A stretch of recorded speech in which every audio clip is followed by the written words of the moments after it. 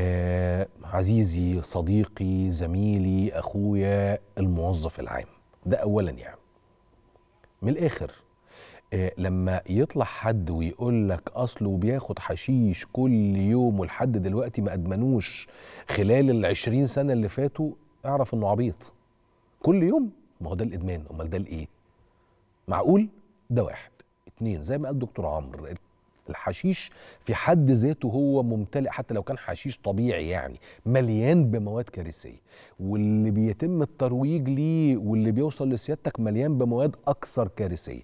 حضرتك اللي هتخسر صحتك وحضرتك اللي هتخسر عيلتك وهتخسر عيالك وهتخسر احترام الناس ليك.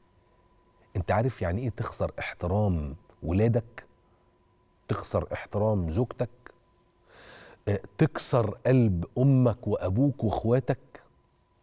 ده في حد ذاته مصيبة. ده على المستوى الوجداني والعاطفي والأسري والاجتماعي والأدبي.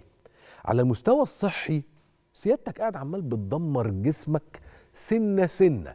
تخيل كده واحد جاي جايب مشرط ولا سكينة وقاعد عمال بيقطع في جسمه بيقطع في لحمه. أنت بتعمل كده؟ ده من الآخر انت بتعمل كده.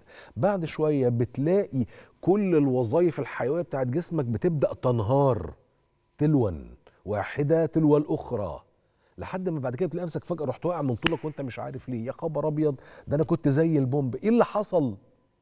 إيه الكلى حصل فيها إيه؟ الكبد حصل فيه إيه؟ القلب حصل فيه إيه؟ البنكرياس حصل فيه إيه؟ الطحال حصل فيه إيه؟ وهكذا. طبعا ده ناهينا عن وضعك الذهني الذي يتردى ساعة بساعة. يعني إن لم تكن حتى الوحدة الزمنية أقل. مش هقول لك يوم بيوم. أنت كل مرة بتتعاطى فيها بتدمر جزء من مخك. أنت عايز كده؟ طيب على صعيد آخر مادي. أنت بتصرف فلوسك على الكلام الفارغ. يعني في أمور كتير تجلب لك السعادة. هي إن يا راجل أكلة حلوة في بيتكو بالدنيا. خروجة حلوة مع أسرتك وعيلتك وأصحابك المحترمين بالدنيا بدل ما تروح تضيعها في الكلام الفاضي. وفي الآخر خالص مضرور يعني بتضيعها في كلام فاضي ومضرور. في النهاية خالص بقى هو الشق القانوني مستقبل سيادتك الوظيفي هيضيع. يعني لو أنت مش قادر تاخدها من منطق الوعي بصالحك بمصلحتك بحياتك بعيلتك إلخ إلخ طب خلاص هتترفد بمنتهى البساطة. هتصيع. ومين هيشغلك؟ ودي حاجة مهمة جدا. مين هيشغلك؟ يعني مين اللي هيشغل موظف اترفد من شغله عشان متعاطي مخدرات؟ حدش هيشغلك. خالص. ولا في أي وظيفة حد هيأتمنك.